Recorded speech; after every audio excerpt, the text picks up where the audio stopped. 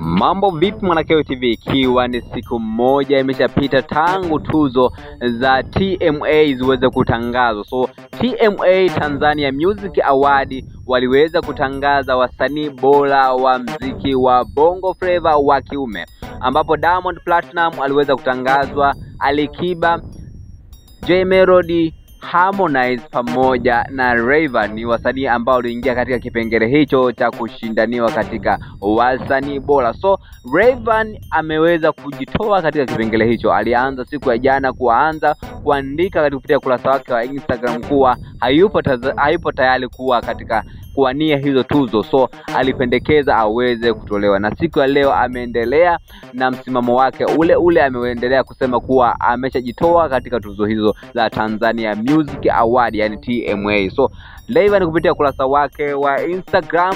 Aliweza kuandika hivi: I wish always the best kwa washiriki wote watakaochaguliwa. Akaweka stika hapo ya kombe, pia akaweka stika za moto hapo, amesema no hard feelings usiache kuvoti kwa wasanii wote unaowapenda na wanaostahili kushinda.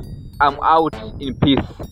So ameandika hayo maneno chui kupitia ukurasa wake wa Instagram kuwa amejitoa katika tuzo hizo kwa amani kabisa. So Rayvanny aliandika hivyo kuwa hajisikii amani kuwepo kwenye hizo tuzo, kwenye hizo tuzo kwa sababu bado mambo hayajanyoka. Nahisi kuna figisu nyingi sana zipo katika hizo tuzo za TMA, so anapendekeza kuwepo na timu ambayo ni nzuri ili kuepusha masuala ya figisu. So watu wengi sana wanalalamikia hizo tuzo kwa huenda zikawa na vigizo, lakini inaonekana mwaka huu TMA wameipanga vizuri, ndio maana Diamond Platinum ameweza kukubali kuwa ni moja ya watu ambao watakaoshiriki katika tuzo hizo. Kumbuka Diamond Platinum mwaka jana aliweza kususa hizo tuzo na alikataa kama alivyokataa Rayvanny mwaka huu. So hii ni KOA TV, tafadhali subscribe na turn on notification kama ni mara yako ya kwanza, usikose kusubscribe, lakini komenti yako ni muhimu kama KOA TV, tutazipitia hapo chini.